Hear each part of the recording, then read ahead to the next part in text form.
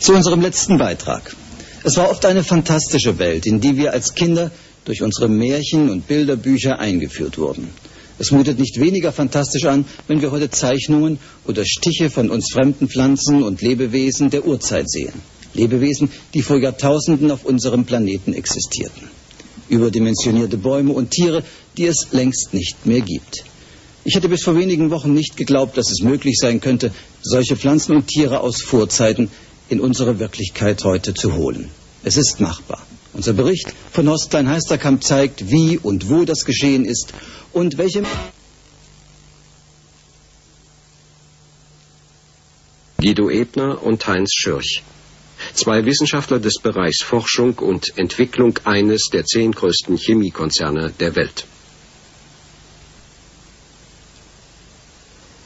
Das schweizerische Unternehmen verkauft chemische Produkte und Dienstleistungen in drei Marktbereichen Gesundheit, Landwirtschaft und Industrie.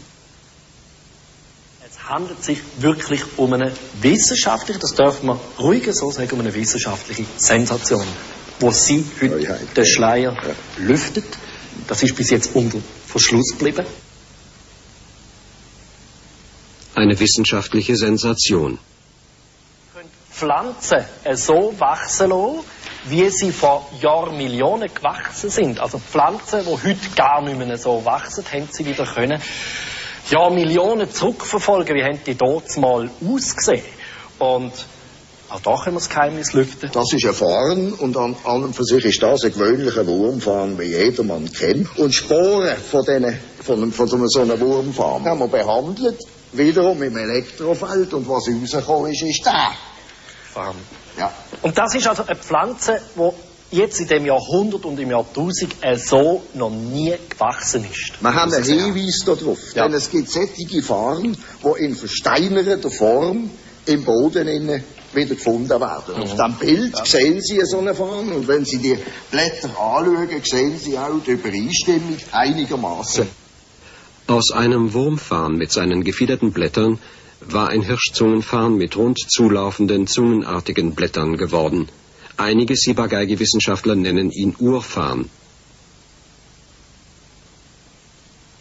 Pflanzen aus vorgeschichtlicher Zeit, vielleicht aus der Zeit der Saurier, vielleicht auch aus der Zeit davor.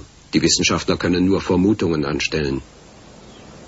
Jedenfalls ist es ein Zeitsprung zurück in der Evolutionsgeschichte mit Hilfe von Sporen unseres gemeinen Farns, also Fortpflanzungszellen aus der Jetztzeit, behandelt in einem elektrischen Feld. Ausgeführt in den Forschungslabors des Basler Chemiekonzerns. Was vor vier Jahren der Öffentlichkeit vorgeführt wurde, ist nur ein Teil der Versuche. Experimentiert wurde auch mit anderen Pflanzen, sogar mit Fischen. Hier Sibagagi-Vorstandsmitglied Heimo Brunetti mit herkömmlichen Gewächsproben. Beispiel Mais. In den Schälchen Kunsterde und Wasser. Maiskörner werden eingelegt. Sibagagi-Forscher Heinz Schürch bereitet einen Versuch vor. Statische Elektrofelder, Spannungsfelder, in denen kein Strom fließt. Es herrscht Gleichspannung von einem bis zu mehreren 10.000 Volt, je nach Versuchsanordnung. Was vielleicht Alchemisten vor hunderten von Jahren erträumten, wird hier Wirklichkeit. Der gängigen Lehrmeinung zum Trotz. Eine Nobelpreisverdächtige Entdeckung. Für drei Tage werden die Maiskörner in den luft- und wasserdicht verschlossenen Schälchen in das statische Elektrofeld gestellt. Danach wachsen die Keime wie jede andere Pflanze im Topf oder im Gewächshaus weiter. Äh, das Ergebnis nach normaler Wachstumszeit. Mit Mais, und da haben wir ja, so ein Beispiel.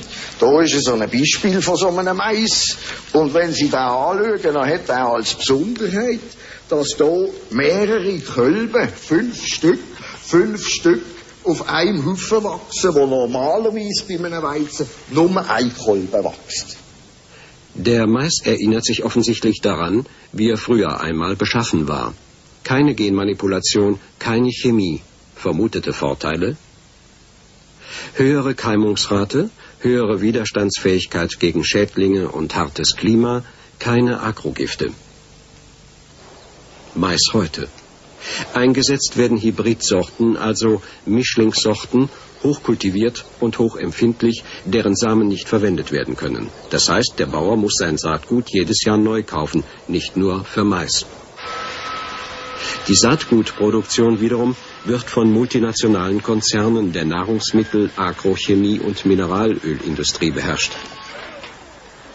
Dieselben Konzerne, die auch Dünge, Pflanzenschutz und Unkrautvernichtungsmittel an den Landwirt verkaufen. Für die chemische Industrie ein Milliardengeschäft. Zum Beispiel auch mit den Ciba-Geigy-Mitteln Gardoprim, Dual und Anofex, eingesetzt unter anderem bei Silo- und Körnermais. Es ist die Chemie, die die Art und Weise der Landwirtschaft und der Ernährung bestimmt. Spätestens jetzt wird schlagartig klar, was die Ciba-Geigy-Versuche eigentlich bedeuten.